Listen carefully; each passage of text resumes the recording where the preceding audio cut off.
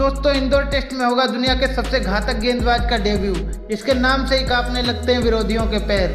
दोस्तों, क्या है खबर की जानकारी और कौन है वो खिलाड़ी, बताएँगे इस वीडियो में। वीडियो पसंद आए तो वीडियो को लाइक और चैनल को भी सब्सक्राइब ज़रूर करिएगा।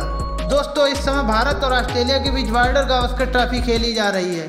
इन चार मैचों की टेस्ट श्रृंखला में भारत ने दो मुकाबले जीतकर अजय बढ़त बना ली है। भारत और ऑस्ट्रेलिया के बीच सीरीज़ का तीसरा टेस्ट मुकाबला इंदौर के होलकर स्टेडियम में खेला जाएगा। दोस्तों, भारतीय टीम तीसरा मुकाबला जीतकर सीरीज़ पर कब्जा करना चाहेगी। वहीं ऑस्ट्रेलिया टीम यह मुकाबला जीतकर सीरीज़ में बने रहना चाहेगी।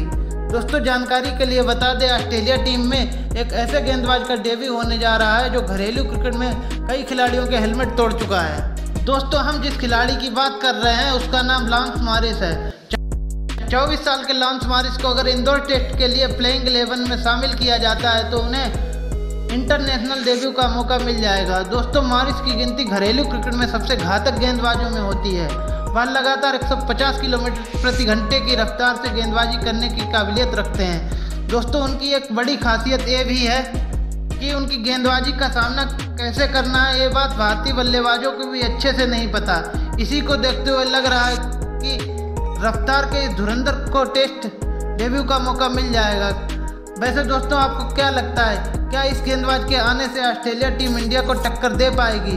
कमेंट बॉक्स में कमेंट करके ज़रूर बताइएगा। धन्यवाद।